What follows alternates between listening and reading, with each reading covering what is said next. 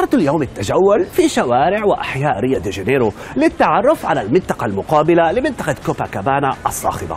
أشعر وكأني في حي أوروبي من القرن الثامن عشر بتاريخه وفنون شوارعه كسلالم إسكاداريا سيلارون التي تصل لابا بسانتا تيريزا ب 215 درجة أو 125 مترا من السلالم مغطاة ببلاط بألوان وأحجام وأشكال مختلفة طبقا لتصميم الفنان التشيلي خورخي سيلارون.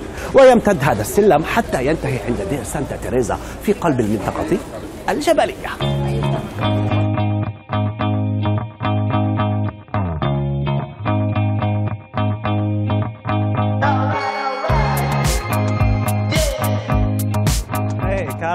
مرحبا كارلوس. كيف حالك؟ أهلا بك ليث كارلوس ماذا يجسد هذا الترام بالنسبة لك؟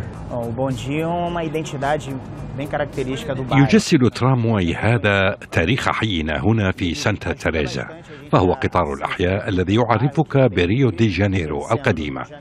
وكذلك الأحياء الشعبية أو الفافيلاز نعم الفافيلا كذلك. هو جزء من تراثنا في هذه المدينة.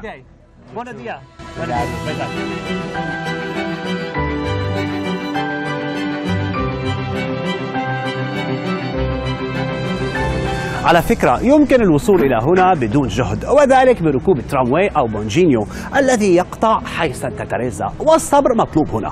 فسكان مدينة ريو دي جانيرو مصطفون على أبواب الترام حتى يمكنهم الصعود إلى التل والنزول منه. لحسن الحظ جئت إلى هنا صباحا لتفادي درجات الحرارة. المرتفعة.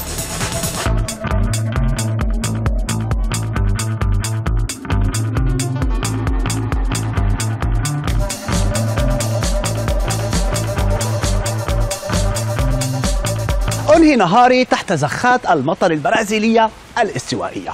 معظم سكان سانتا تيريزا الآن هم من الفنانين الذين يريدون تحويل هذا المكان إلى حي لهم. وقد تم تحويل معظم المباني إلى ورش أو أتيلييه للمهندسين المعماريين والمصممين والرسامين والنحاتين. ليث بزاري العربية ريو دي جانيرو البرازيل.